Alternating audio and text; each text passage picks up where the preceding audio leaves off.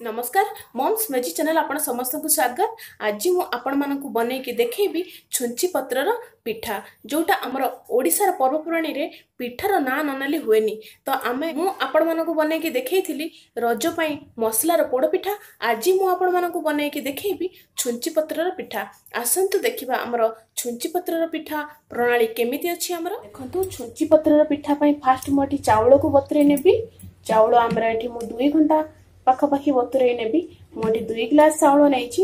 ଆକୁ ମୁଁ ପାଣି ଓଭର କରିକି ଯେମିତି ଆମର ପାଣି ଓଭରରେ ରହିବ ସେଇଭଳି ଆକୁ ଆମେ ବତୁରେଇ ରଖିନେବା। ଘଣ୍ଟେରୁ ଦୁଇ ଘଣ୍ଟା ଆମେ ଆକୁ ବତୁରେଇ କରି ଛାଡ଼ି ନେବା ଯୋଉ ଚାଉଳ ବତୁରେଇକି ରଖିଥିଲି ଭଲ କରି ଆକୁ ମୁଁ ଧୋଇ ନେଇଛି। ମୋର ଏଠି ଦୁଇ ଘଣ୍ଟା ହେଇଗଲାଣି ଆମ ଚାଉଳ ବତୁରେଇବାରେ। ମୁଁ ଆକୁ ଭଲ କରି ସଫା କରି ନେଇଛି। ଆଉ ଏଭଳି ଆମେ ପାଣିକୁ ଆମେ ସବୁ କାଢି ନେଇଛନ୍ତି। ଆମେ ସେଠି ପାଣିକୁ କାଢି ନେଲେ ଆକୁ ଆମେ ଭଲ କରି ମିକ୍ସଚର କରିନେବା ପାଣି ଆଉ ଲୁଣ ଦେଇକି ମୁଁ ଏଠି ମିକ୍ସଚର ଜାର ଭିତରେ ଦେଇ ନେଲି ଆର ଚାଉଳ ଆଉ ଲୁଣ ଦେଇକି ଆମେ ଆର ଗୋଟେ ପତଳା ପେଷ୍ଟ କରିନେବା ଖାଲି ଆମ ଚାଉଳ ବତୁରାଇ ଚାଉଳର ପେଷ୍ଟ ବନିକି ରେଡି ହେଇଗଲା ଆମେ ୟାକୁ ପତଳା କରି ପେଷ୍ଟ କରିନେଲେ କାହିଁକି ନା ଆମର ଇଏ ଛୁଞ୍ଚି ପତ୍ର ପିଠା ପାଇଁ ଆମର ଏଇଭଳି ପତଳା ବେଟର ହବା ନିହାତି ଦରକାର। ଆମର ଏଇ ବନିକି ରେଡି ହେଇଗଲା। ଆକୁ ମୁଁ ତ ଲୁଣ ପକେଇ ନେଇଥିଲି। ଜଷ୍ଟ ମୁଁ ଆକୁ ଟିକେ ଫେଣ୍ଟି କରି ଆକୁ ମୁଁ ତିନିରୁ ଚାରି ଘଣ୍ଟା ପର୍ଯ୍ୟନ୍ତ ରଖିନେବି। ଆଉ ଆକୁ ଆମେ ଛୁଞ୍ଚି ପତ୍ର ପିଠା ଚାରି ଘଣ୍ଟା ପରେ ହିଁ ବନେଇବା। ଛୁଞ୍ଚି ପତ୍ରର ପିଠା ପାଇଁ ମୁଁ ଏଇଭଳି ଗୋଟେ ସଫା ଧଳା କପଡ଼ା ନେଇଯାଇଛି। ଆକୁ ମୁଁ ଏଇଭଳି ଛୋଟ ଛୋଟ ଫୋଲ୍ଡ କରି ନେବି ଦେଖନ୍ତୁ ଏଇଭଳି ଆମେ ଫୋଲ୍ଡ କରିନେବା। ଆଉ ଆମେ ଯୋଉ ଚାଉଳର ପେଷ୍ଟ କରି ରଖିଥିଲେ ପତଳା କରି ସେଇଥିରେ ଆମେ ଏଇ ଏଇ କପଡ଼ା ସାହାଯ୍ୟରେ ଆମେ ପିଠାକୁ ବନେଇବା। ତାରି ସାହାଯ୍ୟରେ ଆମେ ପିଠାକୁ ବନେଇବା। ଆମେ ଏଠି ଫୋଲ୍ଡ କରି ରଖିଥିଲେ ଯୋଉ ଏଭଳି ପ୍ଲସ୍ କରି ନେବା। କାହିଁକିନା ଆମର ଛୁଞ୍ଚି ପତ୍ରରେ ପିଠା ବନେଇବା ପାଇଁ ପ୍ରୋସେସଟି ଏଇଭଳି ହିଁ ହୁଏ। ଦେଖନ୍ତୁ କେତେ ବଢିଆ କରି ଆମର ବନିଗଲା। ଆଉ ସାଙ୍ଗେ ସାଙ୍ଗେ ମଧ୍ୟ ବନି ଯାଉଛି ଇଏ ଆମର ଟ୍ରାନ୍ସପରେଣ୍ଟ ମଧ୍ୟ ହେଇଗଲା ତୁରନ୍ତ।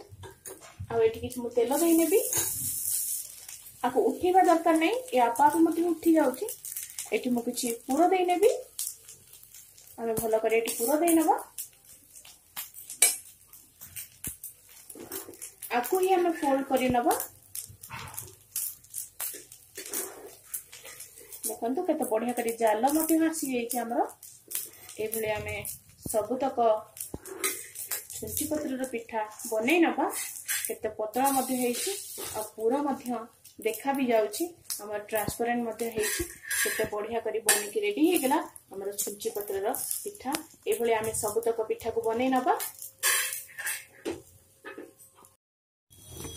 ଦେଖନ୍ତୁ ଏଇଭଳି ମୁଁ ସବୁତକ ଛୁଞ୍ଚି ପତ୍ରର ପିଠାକୁ ବନେଇ ନେଲି। ଆମର ପିଠା ବନିକି ରେଡି ହେଇଗଲା। ଇଏ ଆମର ଏବେ ଖାଇବା ପାଇଁ ପ୍ରସ୍ତୁତ ହେଇଗଲା।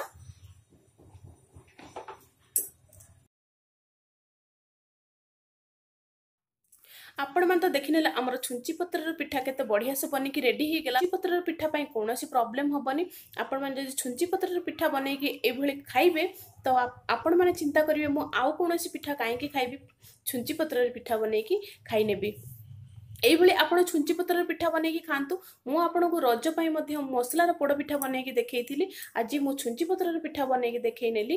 ଏଇଭଳି ଆପଣମାନେ ପିଠା ବନେଇକି ଖାଆନ୍ତୁ। ଆପଣଙ୍କର ଅନୁଭବ ମୋତେ ଲାଇକ୍ କମେଣ୍ଟ ମାଧ୍ୟମରେ ଜଣାନ୍ତୁ।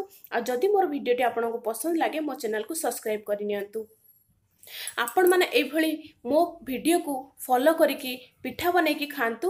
ରହିଲି ନମସ୍କାର।